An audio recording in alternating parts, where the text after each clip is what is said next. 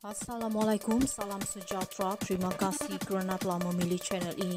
Jangan lupa tekan butang like, komen, subscribe dan share untuk Langkah Dubai tukar jadi langkah long lay.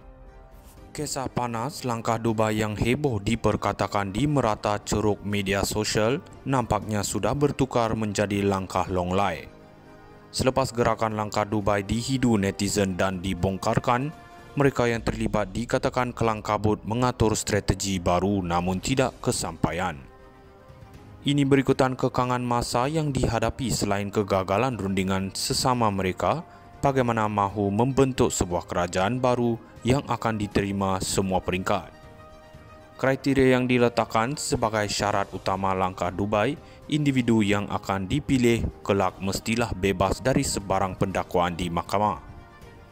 Langkah Dubai juga menetapkan individu yang dipilih mestilah mempunyai sokongan sekurang-kurangnya 80% dari keseluruhan gabungan baru. Selain itu, gabungan baru untuk langkah Dubai mestilah mengiktiraf pembahagian kuasa dalam nisbah 50-20-10-10. Parti yang mempunyai kerusi terbanyak di parlimen akan mendapat 50% diikuti yang lain-lain berdasarkan jumlah kerusi di parlimen. Mereka juga tidak boleh membantah pembahagian kuasa tersebut dan perlu akur dengan apa saja yang ditetapkan oleh pemegang 50% kuasa.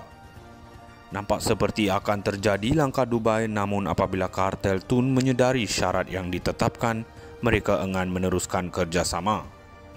Apa yang dikehendaki kartel Tun ialah keutamaan pembahagian kuasa diberikan kepada mereka bagi memudahkan susun atur politik ditentukan mereka sekali lagi.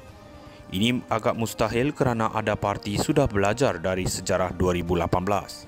Oleh demikian, langkah Dubai menemui kegagalan akibat perebutan kuasa sesama mereka. Tetapi tidak mustahil gerakan tersebut dihentikan selagi mereka tidak berpuas hati. Mungkin akan ada langkah seribu menyusul selepas langkah Dubai bertukar menjadi langkah Long Lai.